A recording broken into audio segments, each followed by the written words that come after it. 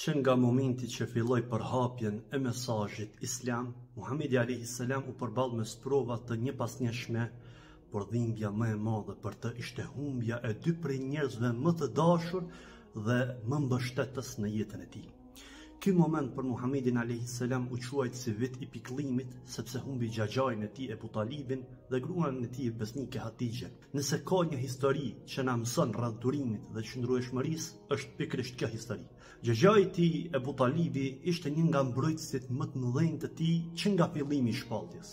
Edhe pse Ebu Talibi nuk pranoi Islamin, ai gjithmonë qëndroi përkrah Profetit, duke e mbrojtur nga armiqtë e tij dhe duke e siguruar se do ta kishte gjithmonë mbështetjen e tij. Vetëm pak kohë pas vdekjes së Ebu Talibit, Muhamedi alejhi selam humbi gruan e tij të dashur Hatixhen, e cila kishte qenë mbështetësja e tij e parë dhe e palodhur që nga fillimi i misionit të tij profetik. Hatixha ishte jo vetëm gruaja e tij, por edhe shoqja më e ngushtë që e mbështeti moralisht dhe financiarisht në kohët më të vështira.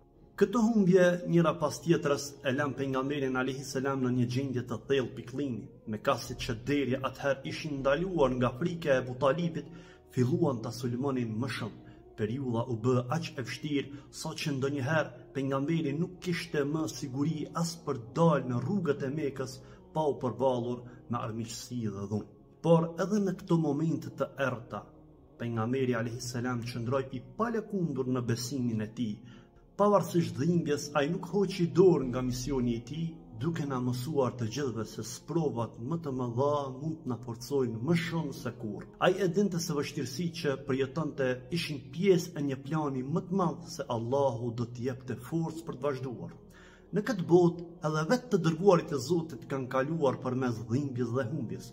Pejgamberi alejhi selam duke humbur dy njerëzit më të dashur për të, na mëson se edhe në mes të pikëllimit të thellë, duhet të vazhdojmë të ecim përpara, sepse pas çdo dhimbje, Allahu sjell lehtësimin dhe dritën e shpresës.